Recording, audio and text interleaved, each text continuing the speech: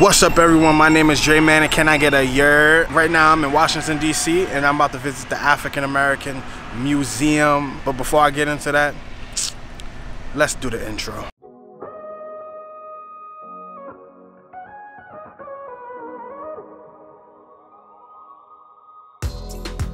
I think one of the most important things is knowing exactly where you are from. I'm African American. so I was born in the Bronx, raised in the Bronx.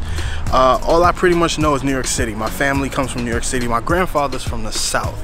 Uh, we don't have to go into the whole historical context of uh, being African American in America and what that means and how we got here, etc. But knowing the history of that, especially in the climate that we're in today, I'm not a fan of the current president. Uh, the climate that is today where there's a lot of intentional separation happening with inside all of the communities. Um, knowing exactly where you're from, especially when you're raising children like myself, is super important. So today I'm in Washington, D.C. with my family, my children, uh, and we are going to go to the African American Film Festival no, I'm sorry. We are gonna go to the African American Museum where we'll get the opportunity to explore and truly, truly uh, understand where it is that we come from and the history of our people.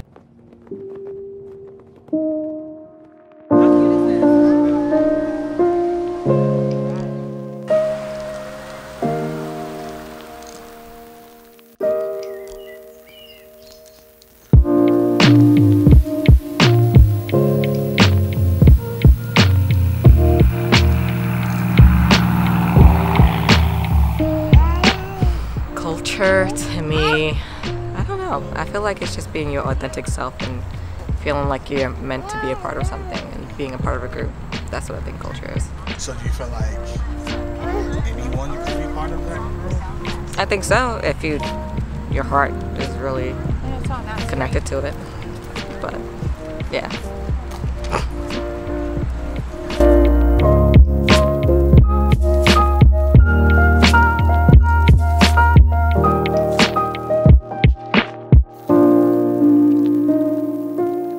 Was such an amazing day. Um, it was eye-opening to visit the African American Museum and learn a bit more about a lot of the things that I've learned throughout the 31 years of my life.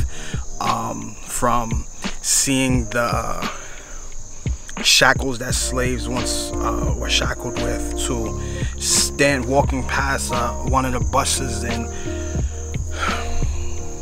it, it was it was a it was emotionally overwhelming at the same time and I'm honestly happy I got to experience something like this with in my lifetime with my children and my family. Um, yeah. I, I think you know lately I've been kind of on this high of pushing your culture and pushing what you represent and who you are and your story. I have so many friends who come from so many different backgrounds and they're filmmakers and media makers and you know whatever form of media that is, whether it's music or journalism or podcasting, and they don't really uh, share share their story enough. Um, some of them do. Don't get it wrong. I'm gonna say a solid 50% of them. They share their story and not just their story of their upbringing, but of their culture. Um, and they, they do it out of fear. They do it out of fear of people judging them. And the reality is, is that people are going to judge you no matter what you do. You can be the greatest person in the world and they'll still find a reason to judge you. They'll still find a reason to say things about you. Um, that's why it's important that you still share your story no matter what. Uh, when we talk about things like cultural appropriation, we, we worry about people trying to steal our identity.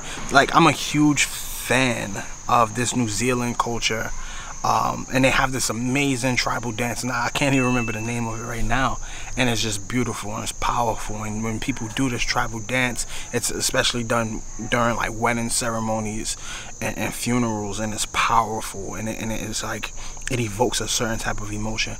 But in order for me to be a part of that culture, and I have to, I feel like I would have to travel to New Zealand, live amongst the people, and work to find acceptance amongst these people Uh, but until then, you know, I can just only be a fan of it and watch it from afar because I know nothing of it. I don't know what's the reasons that they do these tribal dances for. I just know that they do them. We're here to do several things. And if you know that you can teach people about your people um, and do it from a positive narrative, narrative and create this positive narrative around your people and your culture, um, it's your job to do so. You don't want some 60 to 80 year old white man sitting in the office talking about he thinks this is what black Americans should look like in film. No, no, he's completely removed. Completely. And it's solely your job to make sure that you get out there as a filmmaker to produce content, whether it's YouTube videos or feature films or podcast or music that brings light to your culture and what it is that you do. Um, and it doesn't just have to be a black culture. It could be, yeah, if you're part of the LGBTQ community, it could be part of. Could, if you're a woman and you're part of the women's rights movement or women's feminist movement, whatever whatever culture it is or subculture that you are part of, make sure that you're bringing awareness and you're doing it right. Me as a heterosexual male, I don't feel comfortable writing films about people in the LGBTQ community because I'm not part of that community. I'm not part of that culture. I'm just an ally. So that was my day. Um, yeah, I guess I'll sum this up by saying, um, don't be afraid to tell your story. Uh, everyone has a story. Everybody comes from somewhere. The beautiful thing about America is that it's just this cultural pot of different people from different places telling different stories. Um, and it's important that you tell your story because if anybody else tells that narrative, they're going to tell it from their lens. So why not tell it from one who has true accounts within that culture. Culture is the root of you. Culture is the root of me. Culture is the root of everyone. Without culture, we will not exist. Make sure you tell your story. It is your responsibility as a filmmaker to do so and to do it adequately. All right?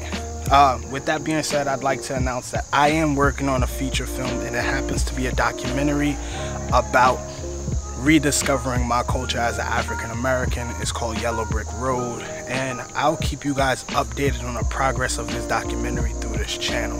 Um, my name is Dre Manning. This is Dollar and a Dream. Uh, make sure you like, subscribe, and comment to the channel. And as I always say, nothing that I say matters if you don't get out there and apply it. Just get out there and shoot your shot. I'm out of here.